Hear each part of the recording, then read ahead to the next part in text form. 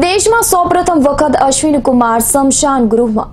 સૌર ઉર્જાની મદદથી અંતિમ સંસ્કાર શરૂ થવા જઈ રહ્યું છે. સૌર ઉર્જાનો ઉપયોગ કરીને શમશાન ગૃહના તમામ વીજળીના સાધનો તેમજ ગેસ ચેમ્બરનું પણ સંચાલન થશે. સૌર ઉર્જાના ઉપયોગને કારણે શમશાન ગૃહમાં વર્ષે બે હજાર ચારસો કિલોવોટ વીજળીની બચત પણ થશે. શહેરમાં નારાયણ ટ્રસ્ટ દ્વારા સંચાલિત અશ્વિની કુમાર શમશાન ગૃહ છેલ્લા કેટલાક વર્ષોથી લાકડાની સાથે ગેસ દ્વારા અંતિમ સંસ્કાર કરી પર્યાવરણનું જતન કરવાનો પ્રયાસ કરી રહ્યું છે. શનિવારથી અશ્વિની કુમાર શમશાન ગૃહ પર્યાવરણની રક્ષા માટે વધુ એક કદમ ઉઠાવી રહ્યો છે. શનિવારથી અશ્વિની કુમાર શમશાન ગૃહ સૌર ઉર્જાનો ઉપયોગ કરવા જઈ રહ્યો છે. આશરે તેર લાખથી વધુના ખર્ચે શમશાન ગૃહ ખાતે સોલાર એનર્જી પ્લાન્ટનું ઇન્સ્ટોલેશન પણ થઈ ગયું છે. Goldi green technology private limited દ્વારા પ્લાન્ટની કામગીરી પૂર્ણ કરી દેવામાં આવી છે. નારાયણ ટ્રસ્ટ સંચાલક અશ્વિની શમશાન ગૃહમાં રોજ સરેરાશ ત્રીસથી પાંત્રીસ વ્યક્તિનો અંતિમ સંસ્કાર થાય છે.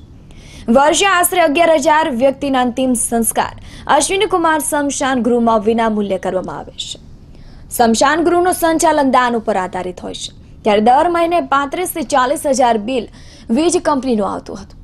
જેને ધ્યાનમાં રાખીને તેમજ પર્યાવરણના જતનના આશય સાથે સ્મશાન ગૃહની ગેસ ચેમ્બર બર્નર સહિતના સાધનો સૌર ઊર્જા પર શરૂ કરવા નક્કી કરેલ છે.